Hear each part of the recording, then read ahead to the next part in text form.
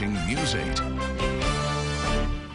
Well, 56 million American kids are now back in school. A new public service announcement was released this week by a group that wants to make sure our children stay safe. As Jim Axelrod shows us, it can be tough to watch, and that's the point. This year, my mom got me the perfect bag for back to school. It starts out like any other back to school spot. These headphones are just what I need for studying. But it's certainly not. These new sneakers are just what I need for the new year. This jacket is a real must-have. The sound of gunshots makes that perfectly clear.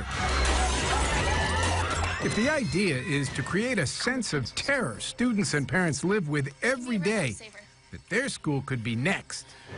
These scissors really come in handy in art class. People at Sandy Hook promise have met their goal. I finally got my own phone to stay in touch with my mom.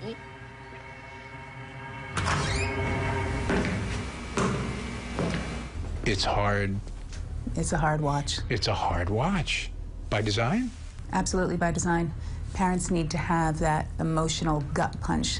A nonprofit founded by families of those killed at Newtown, their goal was to shock. Nicole Hockley's son Dylan was among the 26 victims. This is what kids are experiencing today, and that's why we have to take action. Hockley told us this PSA was designed to be divorced from politics, that keeping kids safe is not a partisan issue. Jim Axelrod, CBS News, New York.